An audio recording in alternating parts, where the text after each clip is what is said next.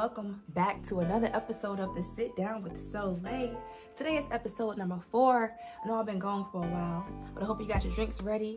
Sit down, relax, and um, let's talk about it. So, as you can see from the title of this video, today's episode is about my paranormal experience and why I had to stop watching that show Them.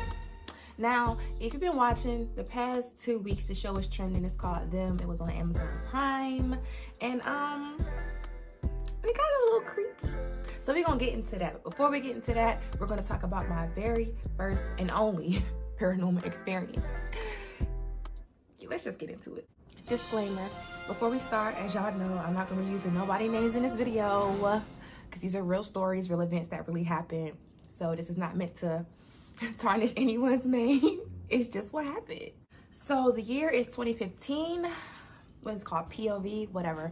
I'm in college, uh, it's 2015. It's my junior year, well, the summer of my junior year. I'm going into my senior year of college at North Carolina, A&T, Aggie Pride. But, um, so when I was in college, as some of y'all may or may not know, um, I ran track on a full scholarship, so therefore I never stayed on campus. I never lived on campus. I always stayed in an apartment. So this particular year, I was moving from the team apartments to these fancy apartments by UNCG on the white side of town. And um they was real fancy so i was excited to move from up out of the university um because it was so ghetto where i was staying. It was ghetto. And that's just that. It was shootings people really died in my parking lot like people was getting i got robbed one time like it was a lot going on. So i was happy to move to the other side of town you feel me? So anyway my lease was up on like a certain day and I legit had like four weeks until I could move into my place. So in those four weeks, my homegirl let me stay in her apartment because she just happened to not be there for the summer. So I was in a relationship at this time. So, um, and my boyfriend at the time was staying down there with me over the summer because most students don't stay over the summer. No, normally just athletes stay. So he was staying with me over the summer, had a little summer job, and that's what was going on. So therefore, we both stayed in her apartment until my apartment got ready. Boom. So we're staying in her apartment um, only for a few weeks.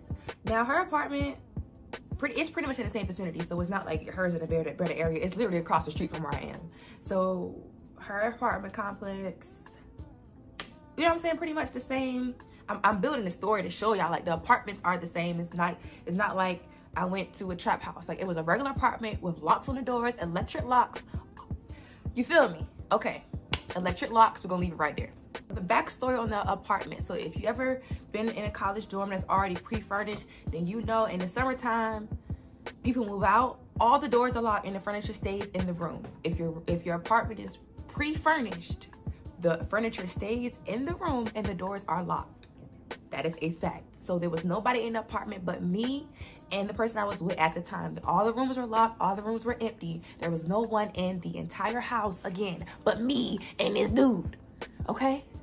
So this particular day, um, back then I love scary movies. Like I didn't really see them scary. Like I thought they were just interesting thrillers on the edge of my seat. I love suspense, boom. So this day we watched legit no cap like four to five scary movies back to back. And none of them were like OD scary, but they all was like, and back then I used to love Insidious. Like I really used to,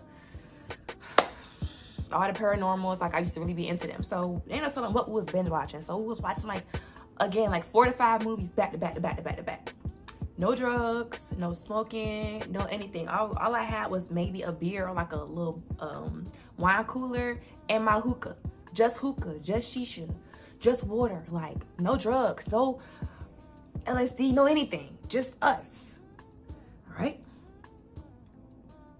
So after this last movie goes off, we're in that we already picked the next movie. So we're in like a little movie break. I'm about to change out the shisha and just, you know, intermission. So he goes to the bathroom, and when he's in the bathroom, I hear this big, like it sounds like a dresser, like a fell all the way over. I hit the ground. So I'm like, you hear that? And we, you know, you tiptoe around and like you hear something. So we both tiptoe, and we stop, and we hear another. So I'm like, time out. I thought one nobody in here. I thought these doors was locked. I thought it was just us in here. What is going on? Who was here? So I'm like, okay we tripping. we tripping. Cause ain't no way I'm finna be in nobody scared movie today. So that's that's where I was. So we just waiting to see what else we hear. And the next thing I know, I hear the couch in the living room literally sliding across the freaking floor as if somebody's it is outside pushing the furniture around in the common area. So at this point, somebody broke in the house. Somebody had to have broken the house. So I'm like, is somebody in the house? I think they broke in the house. I don't know what they want because we got nothing. Like, you know what I'm saying? It was just a lot of whispering going on and a lot of confusion. All right. So at this point, we just like, you know what? I don't know. So we called police. We like, yo, think somebody broke in. We hear people in the house. We hear stuff going on. We ain't trying to get, we ain't trying to get got. So the police is like, well, you know, technically your name is on this lease, so we don't, you don't have authority, you don't have the authority to give us to kick your door in. So they call the lady on the phone, and I is like, the police are telling me to tell you to come open the front door. The police are telling me to tell you to, cut to open the door. So the police want me to go out there in, in harm's way. Ain't that y'all job to go to protect and serve? I didn't go to school for this. I don't got no badge. I'm just here, a student. They wanted me to go out there and do their job for them so they could clean up my body. I'm like, I've seen enough movies to know, nah. Because even the people that got guns to go still be getting y'all. So I ain't about to go out there. All right, that's just that. They told me to go out there. I told them no. So they told my boyfriend at the time to go out there. And that's when the story gets even more hilarious. All right, so the police are getting trying to get me to come. I'm like, no, no, no. So I'm like, yo, you gotta go. Like, they want one of us to go out there because they're not coming in. We have to go out. So we looking at each other like, he is literally pacing back and forth like, And I'm looking at this man like, the seconds are ticking. My life could be going down the drain right now and you sitting here having a self self contemplation conference meeting with all of yous at the same time while we just sitting here in harm's way. So I was like, you know what? I'ma do it. So I stood up. I said, I'm faster. I run track. I can hurdle over the couch. This is really like my logic at this time. I'm like, I can hurdle over the couch. I can get to the door in like three seconds. I in crunch time, I'm clumsy. If you give me the keys, open the door, I'm fumbling the keys, we dying. Like, I don't know why. I never had any intention to go out there, but I knew that I worked to get him to go. And it worked, because after I said that, he was like, no, I got it, I got it. Bet. So he goes to the door. I see this with my own two eyes. I'm standing here watching him open the door. He goes to the door. He turns the, the deadbolt lock. The actual door doesn't have a lock. Those apartments is just a deadbolt lock. Opens the deadbolt. I see him turn the handle. I see him pulling the door. Like nothing's happening. It's really as if somebody is on the other side pulling the door to the point where he locked the door back and was like, and when he locked the door back and let the door go, I was still in the bathroom. So like the bathroom's here, the door's here. So I'm looking at him we're really close. Like the, the door in the bathroom is mad close.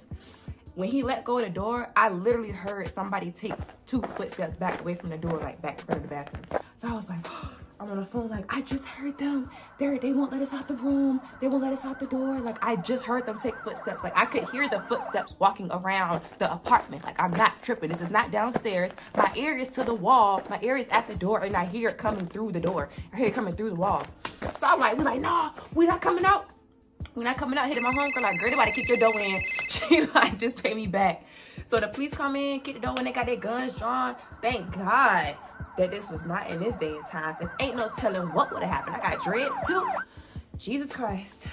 Anyway, they came in, guns drawn, flashlights and everything. Man, they pulled him outside, talked to him. They pulled me outside to come talk to me. They like, ma'am, have you been taking, have you had any drugs tonight?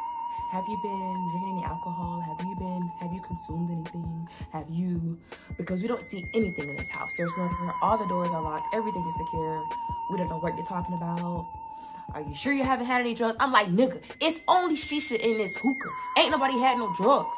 I'm still running track. If I could smoke right now, I would smoke.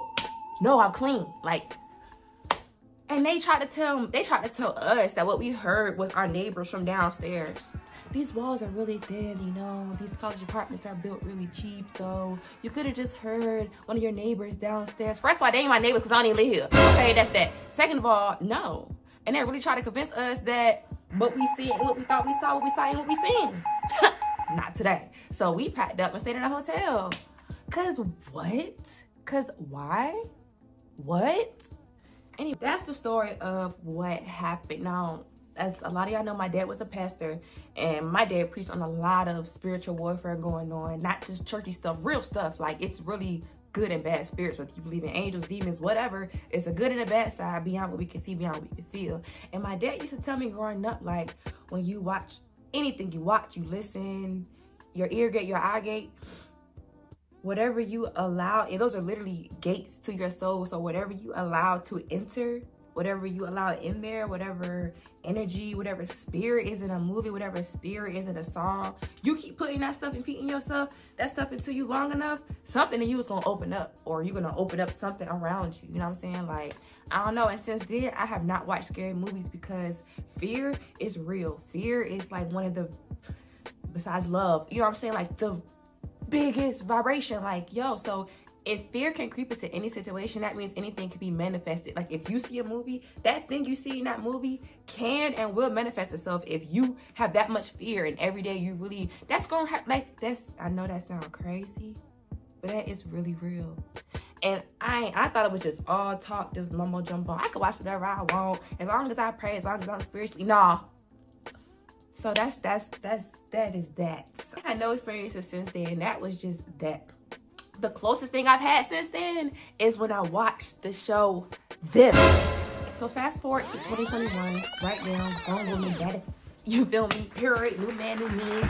And to now, spiritually stronger, mentally, physically, just everywhere stronger. So I'm thinking, ain't no way that I'm about to, ain't no way. Just the armor is too strong. But them, yeah, I had to stop because I don't know what they got going on. So I randomly came across them because I was on YouTube and the preview popped up and I was like, oh, let me click on them. Because I was like, them, us, them, us. Like, what? Is it a sequel? All the whole time, nothing to do with us. So um, I watched it. I was like, oh, showed it to the babe. He was, oh, we gotta watch this.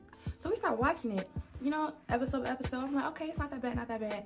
You know, I started having dreams. Now, I'm a dreamer. I have I have vivid dreams, like, and I interpret my dreams. You know, God give me, it's just my thing. And um, I mean, that's one of my gifts. So I started having dreams about the, if you watch the show, you know, the black man had the little, um, the black face man with the white on his face. I started seeing him in my dreams. Like the first night I had a dream and I was looking at something that was like black and the face just turned into his face and the face started growing bigger and I just like, like woke up like, whoa. So that was the first night.